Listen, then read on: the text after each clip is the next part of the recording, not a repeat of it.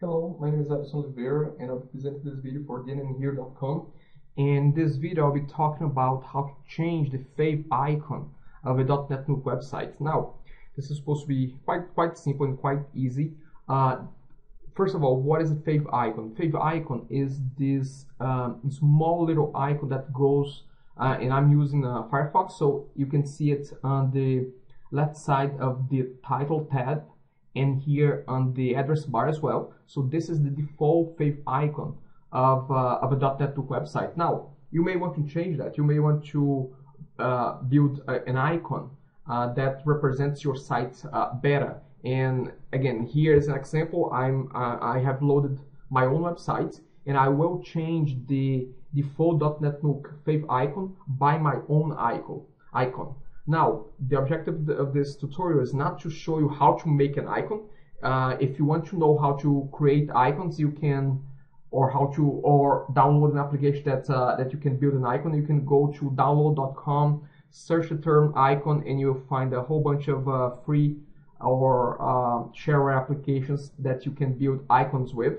But the objective of the video is just to show how to change it. So, assuming that you have another favicon already, very simple to change uh, to to another icon out, uh, aside from the default DNN icon. So first thing that you have to do is you have to go to the root folder of your website and I have uh, my FTP application open and this is the root folder of my own website. Now there's a file called favicon.ico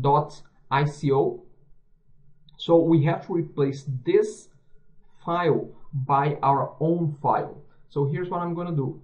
I'm going to delete the default one that is already there, which shows the .NET logo. And I'm going to upload my own favicon uh, file to the same folder, which is the root folder of the site. So I'm going to upload it there. And now I'll be going back to the site if I try right away, just refresh, what will happen is that the same .NET icon will come up because the, the default icon is already cached in your local system. So two things that I recommend that you do to see the new icon reflected here. One is go to tools and again Firefox here, clear recent history and clear the cache. So check cache at least and well you can try everything. So clear now so this is the first thing that you need to do. I'm just gonna move away from this page for a second and just in case I'm gonna go there a second. Okay, so I'm gonna clear. Now I'm also going to uh, close the browser and I'm gonna open it again.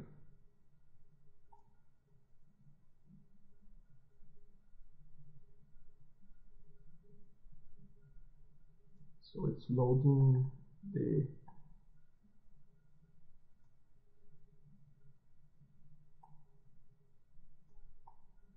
the previous windows and just resize this quite quite quickly. And I'm going to the page here again. And hopefully the new icon will come up this time.